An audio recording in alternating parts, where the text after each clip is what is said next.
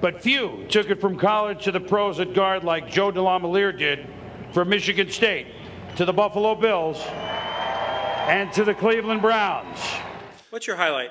My highlight, one of them, is what I did with Fred. Fred Siegel is waiting and wondering, waiting to see whether an old friend of his, Bills Hall of Famer Joe DeLamielleure, is going to show up to run a race with him. Now, to find out just how Fred and Joe got to this point in time, we have to go back in time. Back to 1980 and here to what used to be UB's Rotary Field. Joe DeLamielleure was here that day as a Special Olympics volunteer, and Fred Siegel was here to run his first ever race. But once Fred hit the track, well, he was having a tough go of things. This kid, Fred, I don't even know Fred's last name at that point, he wouldn't run. He was like kind of jogging, really kind of struggling through the mile. And all of a sudden this large, large fellow jumps out of the stands and starts running with Fred. I really didn't know who he was. I knew he was a volunteer. And that's what I kept saying. Come on, Fred, you can finish. I'll, I'll, never forget it. You'll finish. I never imagined that we'd ever meet again. And although Joe didn't think much of his act of kindness, it sure had an impact on Fred. It was Joe that uh, came out of that stand that really motivated him. Once he found out he was a professional Bill, that sold Fred on running. He just decided that he was going to run. 19-year-old Fred Siegel of New York. And run Fred did. Just four years later, thanks to his newfound confidence and lots of practice, Fred won the gold medal in the mile at the International Special Olympics. In the years after that, Fred and Joe got on with their lives. Joe finished his career and wound up in the Football Hall of Fame. Thank you very much. And Fred, well, he finished high school and then entered the workforce. Well, the two of them must have really connected because Fred never stopped talking about Joe for 24 years. Then last November, something magical happened. Joe and Fred ran into each other at a fundraiser for the disabled at Ralph Wilson Stadium. And to think that he was running still after all these years, I, am a real sap. I start crying. I, I, I cry very easily, and I got really emotional about it. And it was at that fundraiser that Fred asked Joe if he'd run with him again, this time at the Heritage Center's annual fun run in the spring. Joe, who lives in North Carolina, told Fred he'd try to make it. And so that's how we found Fred recently waiting and wondering whether his old friend Joe was going to show up for the race. He was just hoping that Joe would really surprise him. And then coming down this morning, he said, wouldn't it be wonderful if Joe could just fly out of the sky and surprise me? hey, Fred, you ready to roll? How'd you know that, man? And then, a quarter of a century after their first race, it was time for Joe and Fred to run together again. 25 years later.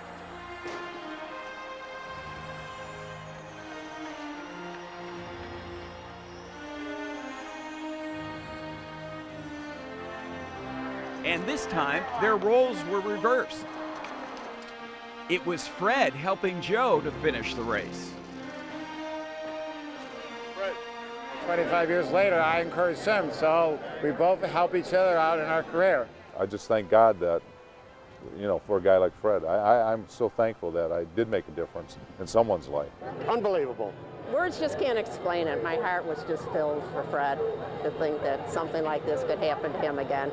And if he didn't jump out of the stand like he did, I probably wouldn't accomplish what I did in my career, won the race, a lot of races and win the gold medal maybe God wanted us to, to, me to be successful in my career, thanks to Joe. Scott Brown. Ladies and gentlemen, Fred Siegel.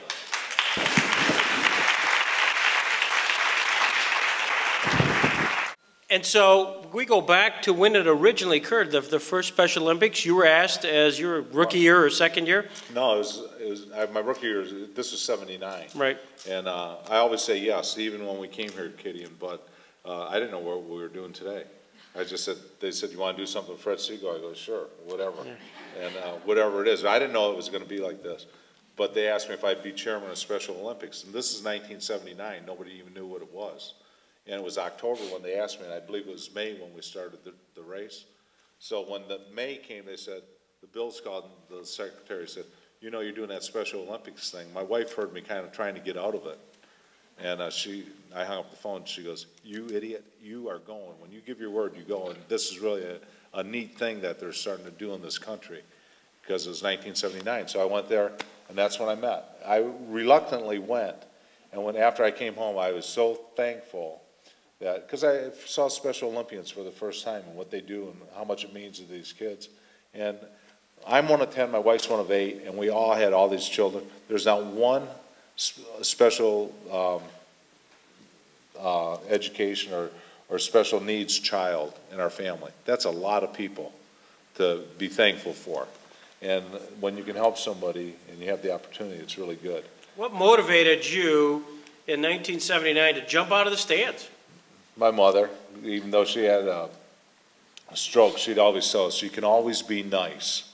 Do something nice. So I, oh, that, that could be something nice. I jumped over and just helped him. And I, I felt bad that he couldn't finish the mile. And, uh, you know, I thought if I just encourage him, maybe he'd finish it. And I, I- how long did it take you, Fred?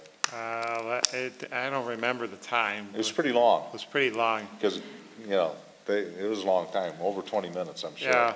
Then I get a letter f- four years later, and what was your time in the final, or when you won it? I did six minutes and seven seconds. A mile. Now that, now that is an accomplishment. Yes. You can talk about O.J. Simpson and everything, but O.J. had it from when he was a kid, and I had it from when I was a kid. He went from ground zero to the Empire State Building Right. in four years. So Fred, do you recall when that 1979, when all of a sudden this rather significant, large person starts running beside for you, beside you? Well, I didn't even know who it was till after the race, so he told me who he was. So maybe it was a blessing. He jumped out of the stands when he did. Yeah. Did you guys talk about it on, uh, while he was, what, what was he saying to you while you were, while you were running? He says, don't give up. You can finish the race. And, and it, and it paid off. Yeah. That's why I listened to him. And when you got done and he introduced himself as a football player, uh, what did that mean to you? Yeah, it was a, it was, it was a big accomplishment. I met somebody important in my life to help me win, to, to finish the race. So when you went back home that night, did you look up a little bit, learn a little bit more about this Joe DeLamielleure? No, yeah, I did. I uh, asked my parents about him. They told me all about what he accomplished. I think that was great. Did you follow his career? Yes, I did. I kept on running and went down to the internationals, won the gold medal. Yeah. Did you find, what what kind of inspiration did a Joe DeLamielleure mean to you, Fred? It meant a lot to me to motivate me to finish that win and keep on training to, to, to go to internationals and win the gold medal. If he didn't come in my life, I probably wouldn't have accomplished the, the gold, win the gold medal and win all the races I did. So it was a blessing we met when we did. And at some point, well after the, that particular event, you actually meet for the first time in maybe 25 years. That's why we met after 25 years, so it was a blessing, so we could run again like we did 25 years ago. But this time, I helped him along the way to finish the race. What did you tell him? I told him, hey, you told me 25 years ago you can finish race, you, you can finish race too. And know what I was telling Fred? Instead of, come on, you can make it, I was going, come on, Fred, slow down. He did slow down. I did slow down. He did slow down, good. Yes, He could have buried me. I could have, but I was nice. You were nice. Well, that puts you in the same category, being nice to a, a football Hall of Famer. So that puts you in a special category, Fred. Yes, it does. whole conference here today is the value of a single human being. And I think in both instances where your relationship with Joe and Joe's relationship with you certainly underscores all that. Well, my wife always says Fred's done a lot more for my, me and our family than we've done for Fred.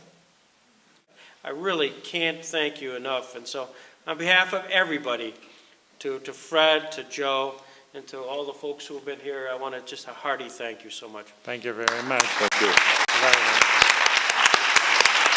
Afternoon. Thank you.